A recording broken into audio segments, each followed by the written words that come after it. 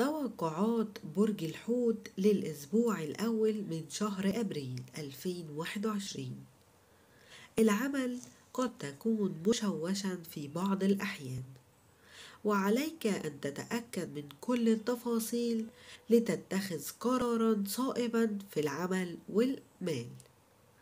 طوال الوقت اعمل في صمت وتجنب الفخر بنفسك ولا تدع الأفكار السوداوية تجتاحك وتحكم في أقوالك خاصة يومي الثلاث والأربع.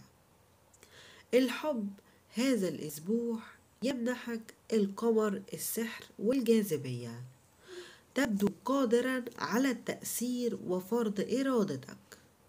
ورغم معاكسة كوكب المريخ يمكنك أيضا أن تتواصل بصورة أفضل مع الأهل والأقارب والأصدقاء والأحباب.